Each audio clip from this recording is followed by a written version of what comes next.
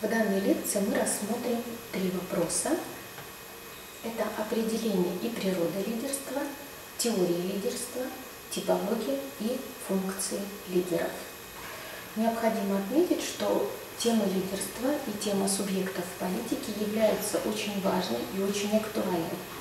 Среди основных и самых важных проблем общественного развития в современном мире, в том числе и в Казахстане, особое место занимает проблема политического лидерства, поиска и выдвижения на решающие посты новых людей, способных на преобразование в государстве и обществе, и на проведение политики, удовлетворяющей потребностям населения.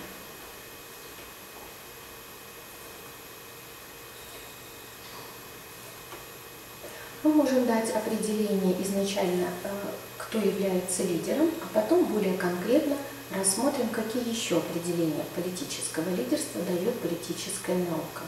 Итак, лидер – это авторитетный член организации, личностное влияние которого позволяет ему играть существенную роль в социальных процессах и ситуациях. Необходимо э, остановиться в первом вопросе на э, тех политических учениях, которые способствовали созданию теории лидерства. Первым автором, который серьезно занимался проблемами лидерства, является Никола Макиавелли.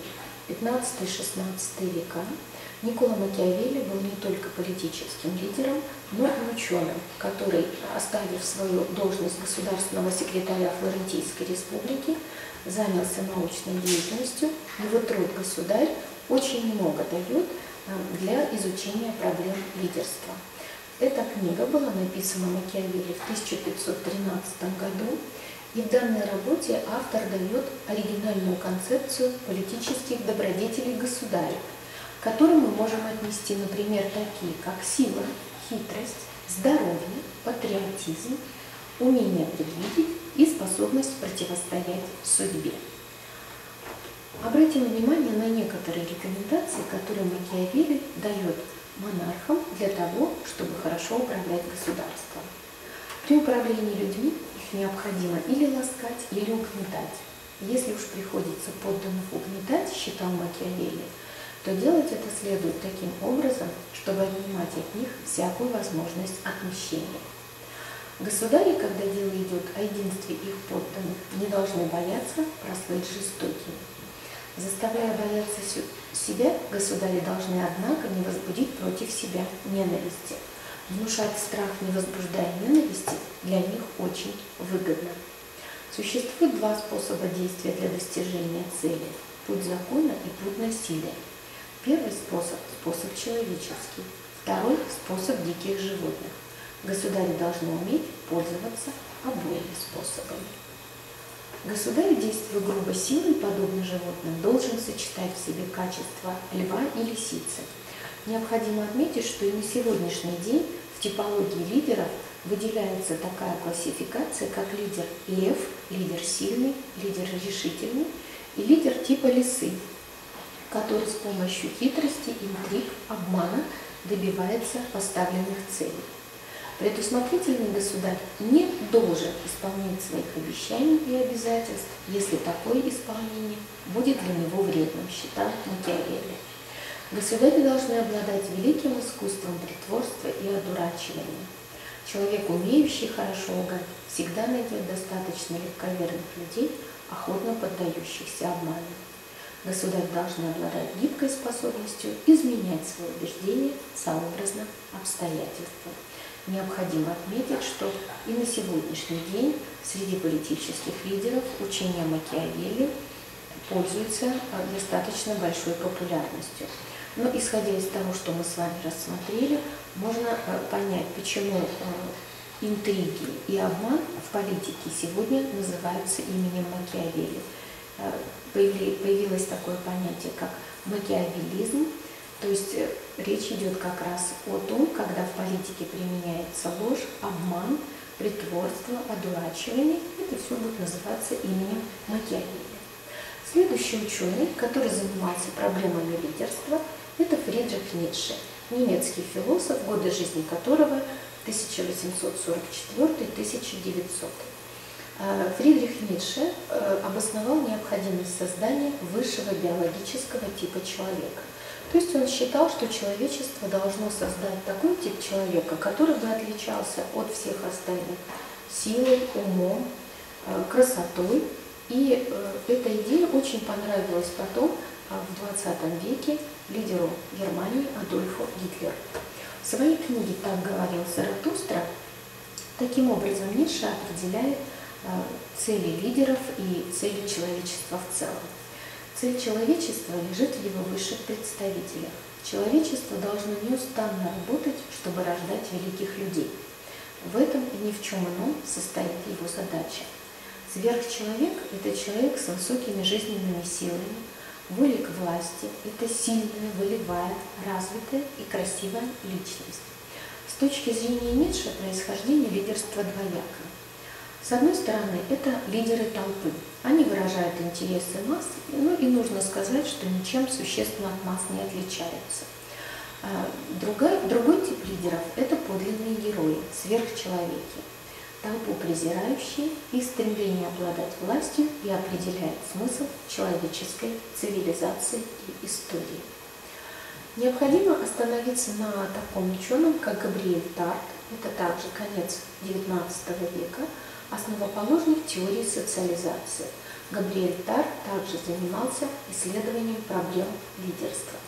С его точки зрения, основной закон социальной жизни – это подражание последователей лидеру. Большинство населения не способно к творчеству, считал Тарт. Единственный источник прогресса общества – это открытие лидера. Все достижения цивилизации – результат деятельности великих лидеров. Приверженцы же лишь подражают лидеру. Основной закон социальной жизни – подражание толпы стилю и имиджу своего лидера. Чтобы иметь успех у последователей, их необходимо держать в нервно-психическом возбуждении. Зигмунд Фрейд, основатель психоанализа, э, также рассматривал проблему лидерства. С его точки зрения лидерство является определенного вида помешательством. Это следствие невроза и маниакальной паранойи. Некоторые великие действительно политики э, с точки зрения ученых, псих, э, психологов, психиатров являются невротиками. Например, такие как Наполеон, Линкольн, Робеспьер, Рузвельт, Понкаре, Гитлер, Сталин. Последователи Фрейда считают, что все общество делится на психически нормальных людей, а к творчеству неспособных и на лидеров, являющихся, по их мнению, маньяками и психопатами. Необходимо остановиться, рассматривая, рассматривая проблемы лидерства и возникновения лидерства на классиках марксизма-ленинизма. Это Карл Маркс, Фридрих Энгельс и Владимир Ильич Ленин. В своих трудах они неоднократно обращались к проблемам лидерства, но проблемы лидерства рассматривали несколько иначе тех точек зрения, о которых мы уже говорили. С точки зрения классиков марксизма и ленинизма, политический лидер – это наиболее способный, сознательный и умелый выразитель воли класса. А классики а, марксизма-ленинизма предлагали упрощенную схему соотношения масс и лидеров. У Владимира Ильича Ленина это звучало так – Массы делятся на классы. Классами руководят политические партии. Политические партии управляются более или менее устойчивыми группами наиболее авторитетных, влиятельных, опытных, выбираемых на самые ответственные посты должностных лиц, называемых вождями. Таким образом, с точки зрения классиков, э, лидер является выразителем воли масс и ничем особым от масс не отличается. Э, перейдем к такому понятию, как э, типологии лидеров. Э, мы можем выделить с вами формальное и неформальное лидерство. Если мы даем характеристику формального лидерства, то это приоритетное влияние определенного лица на членов организации, закрепленное в ее нормах и правилах. То есть лидер любой политической партии, лидер страны – это человек, за которым официально закрепляются определенные функции, и он эти функции выполняет. Мы можем сказать также о том, что помимо формального лидерства есть неформальное лидерство. То есть это субъективная готовность и способность человека к выполнению роли лидера. Признание за ним права на руководство со стороны членов группы. Большое значение в данном случае имеют личные качества.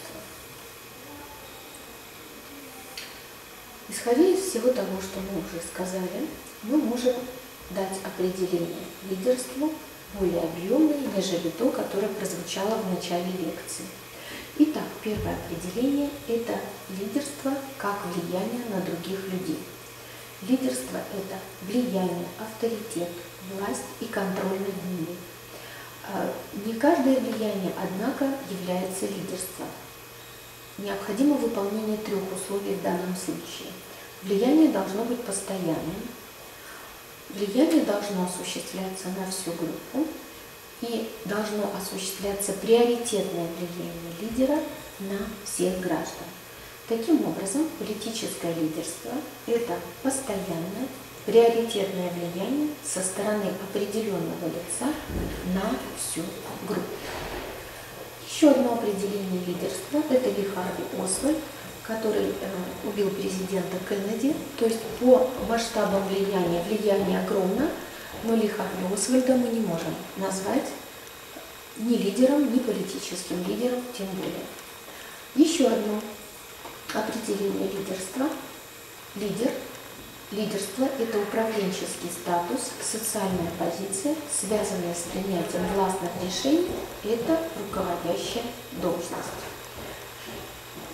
Следующее определение лидерства, которое мы можем дать, исходя из того варианта политиков, который на сегодняшний день э, существует, политическое лидерство – это особого рода предпринимательство, осуществляемое на политическом рынке, при котором политические предприниматели в конкурентной борьбе оценивают свои программы, э, обменивают свои программы на руководящие должности. Юлия Тимошенко относится к такому типу лидеров. К такому типу лидеров мы можем отнести генерала Лебедя, который на выборах в 1996 году занимал второе место среди четырех кандидатов. Но накануне выборов он встретился с Борисом Николаевичем Ельциным и условно обменял свою программу на руководящую должность. Был назначен помощником президента Российской Федерации по национальной безопасности. На этой должности он пробыл совсем недолго. В октябре 1996 года был отправлен в отставку. То есть пример такого недостаточно успешного обмена своей программы на руководящую должность. Политический лидер – это символ общности и образец политического поведения группы, способный реализовать ее интересы с помощью власти. Это еще одно определение лидерства. Я думаю, что этого определения мы и будем с вами придерживаться, рассматривая остальные вопросы лекции. Возникает вопрос, почему? Одни люди становятся лидерами, они стремятся к этому, у них получается. Другие люди не стремятся или стремятся, у них не получается. На этот счет существует несколько теорий. Давайте на них с вами остановимся. Первая теория называется теория черт. Эта теория создана на основе выявления качеств, присущих идеальным лидерам, героям. Суть данной теории состоит в объяснении феномена лидерства выдающимися качествами личности. То есть основатели этой теории попробовали выявить те качества, которыми будет обладать лидер. Выявили 124 черты. К ним относятся такие, как острый ум, твердая воля, кипучая энергия, незаурядные организаторские способности, умение нравиться людям, компетентность, фотогеничность, ораторские способности и так далее и тому подобное. Как вы понимаете, количество черт, которыми должен и будет обладать лидер, достаточно большое. Данную теорию мы не можем назвать совершенной. Перейдем к следующей теории. Это ситуационная теория. Суть этой теории в том, чтобы определить зависимость лидерства от определенных социальных условий. Лидер с точки зрения основателей данной теории – это функция определенной ситуации. Сложившиеся обстоятельства определяют его поведение, принимаемые им решения. С точки зрения ситуации, качества лидера относительны и не так важны, считают основатели данной теории, взять на себя ответственность за решение. Ограниченность данной теории состоит в том, что она недостаточно отражает активность лидера, его способность переломить ситуацию. Следующая теория возникла на основе э, учения Зигмунда Фрейда. Это психологическая теория точки зрения Фрейда и его последователей в основе лидерства лежит подавленная либидо. Обладание руководящими позициями позволяет подавлять чувство неполноценности. Субъективное принятие лидерства закладывается в детстве, считал Фрейд.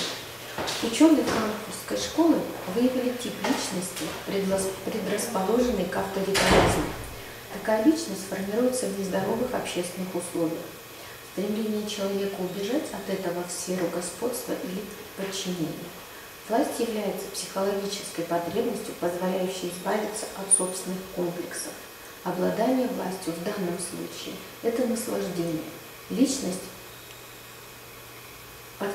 подходящая под психологическую теорию, склонна к мистике и руководствуется эмоциями.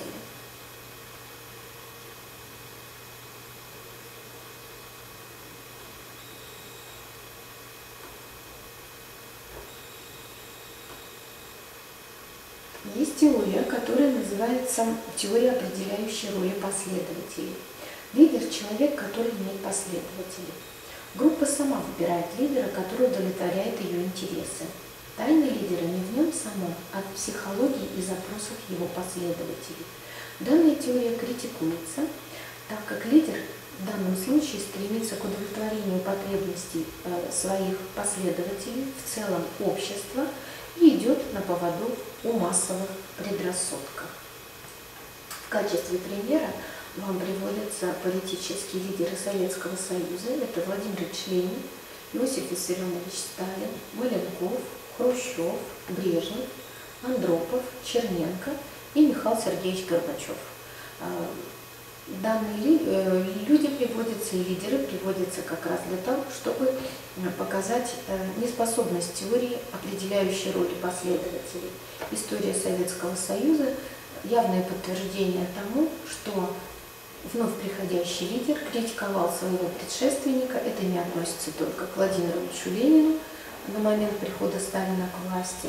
На критике он делал свою карьеру, то есть данная теория в данном случае мы можем сказать, что не работала. Есть э, интерактивная теория, которая обобщила все вышесказанные. То есть это попытка целостной характеристики лидерства. Данная теория учитывает черты лидера, задачи, которые он призван выполнять, последователи, с которыми лидер работает, механизм взаимодействия лидера и последователей. Ну и кроме всего прочего, естественно, нужно учитывать время, в котором лидеру приходится работать. Это стабильность, это порядок, или это период военных действий, период кризисов и так далее. Все эти условия э, ведут к тому, что лидер должен использовать какие-то максимальные свои качества для того, чтобы управлять страной. Типы лидерства. Рассмотрим с вами типы лидерства. Э, необходимо отметить такого ученого, как Макса Вебера, который занимался проблемами исследования лидерства. Макс Вебер выделил такие типы лидерства, как традиционное, харизматическое и рационально-легальное. Остановимся на этих типах лидерства. В основе традиционного лидерства лежит привычка – к этому типу лидерства относятся, например, вожди племен и монархи. Далее, харизматическое лидерство. В основе харизмы лежат вера и эмоции. То есть это лидеры, которые, по мнению масс, наделены дающимися качествами, и вследствие этих качеств они способны к руководству. К харизматическим лидерам мы можем отнести таких лидеров, как, например, Ленин, Сталин, Фидель Кастро, ну и некоторые другие. Иррационально-легальное лидерство – это еще один тип лидерства. В основе данного лидерства лежит разум. То есть это политические лидеры, которые избраны демократическим путем. Существует еще одна типология лидерства по отношению к руководителю к подчиненному. Лидерство бывает авторитарным и демократическим. Авторитарный тип руководства – это единоличное, направленное воздействие применением силы. Демократическое же э, лидерство в противовес авторитарному осуществляется с учетом руководителем интересов и мнений всех членов группы. По стилю лидерства мы можем выделить э, так, такие э, стили лидерства, как знаменосец, например, Мартин Лютер Кинг, Владимир Ленин, служитель, торговец и пожарный. Какие функции лидеров мы можем определить и обозначить? Одна из основных функций – это интеграция общества и объединение масс. Любой лидер должен обосновать какую-то идею, очень важную идею и вокруг этой идеи объединить граждан своего государства. Еще одна функция – это нахождение и принятие оптимальных политических решений. Кроме того, э, к немаловажной функции лидеров относится такая функция, как социальный арбитраж и патронаж, защита нас от беззакония, самоуправства бюрократии – поддержание порядка и законности с помощью контроля, поощрения и наказания. Далее, э, такая функция выделяется, как коммуникация власти и масс, упрочение каналов политической и эмоциональной связи и тем самым предотвращение отчуждения граждан от политического руководства. Помимо этого, Э, лидер должен заниматься обновлением и генерированием оптимизма и социальной энергии, мобилизацией масс на реализацию политических целей. Кроме того, легитимация строя, то есть обеспечение законности строя. Какие же характерные черты лидера мы можем выделить? Прежде всего, лидер должен учитывать, выражать и отстаивать взгляды той или иной группы. Интересы общества должны быть выше личных интересов. Лидер должен быть способен организовать действия. Он должен быть коммуникабельным и обладать ораторскими способностями.